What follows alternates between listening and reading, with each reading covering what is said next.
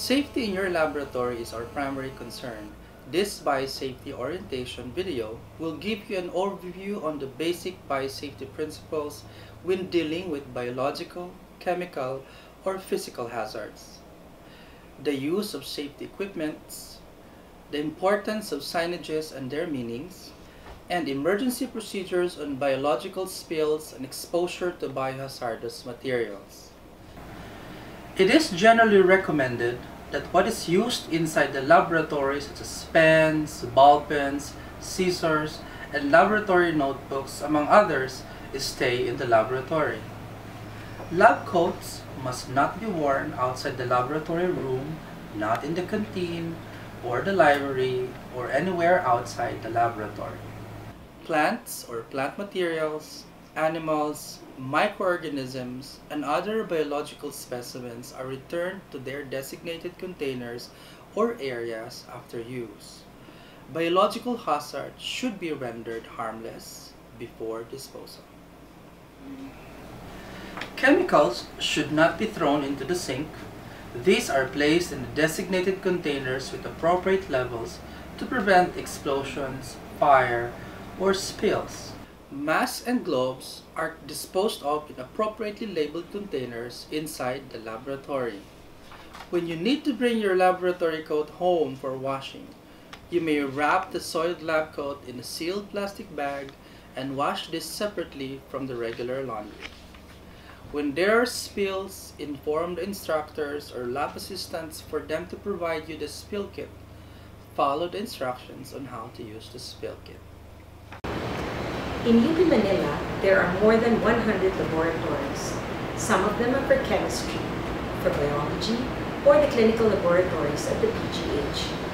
Microbiology courses are held in specially classified laboratories according to the type of organisms being manipulated, the facilities and equipment available. In all these laboratories, standard microbiological practices are followed. For example, hand washing before and after working in the laboratory. BSL-1, the Biosafety Level 1 laboratory. This level is suitable for work involving well-characterized microbiological agents that are not known to cause disease in healthy humans and animals. This may be pathogens of plants or soil organisms. The laboratory has a working table and a sink for hand washing. Gloves and laboratory gowns must be worn at all times in this lab. This is the common teaching lab for general microbiology course. The multidisciplinary lab of the College of Medicine is an example.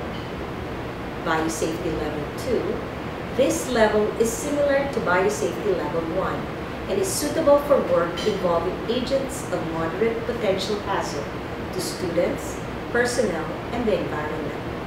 Access to the lab is restricted. The autoclave is used to sterilize contaminated materials in the lab.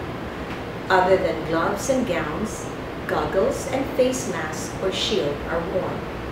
A biosafety cabinet is used when aerosols and splashes are expected. Research laboratories such as the Institute of Molecular Biology and Biotechnology at UP National Institutes of Health is an example of a BSL-2 lab. BSL-3, Biosafety Level 3, this level is applicable to facilities which work with indigenous or exotic agents which may cause serious or potentially lethal disease as a result of exposure by inhalation. Increased medical surveillance and immunization for workers are done. This facility has negative air pressure and higher security level of control. Workers wear respirators in addition to common protective equipment. The only certified BSL-3 in the Philippines is found in RITM the Research Institute for Tropical Medicine. BSL-4, Biosafety Level 4. This facility handles microorganisms that are dangerous and exotic, which pose a high individual risk of aerosol-transmitted laboratory infection and is life-threatening. Change of clothes, showering, and decontaminating all materials before exiting are enforced. All work must be performed within a Class II biosafety cabinet and or a full-body air supply positive pressure suit.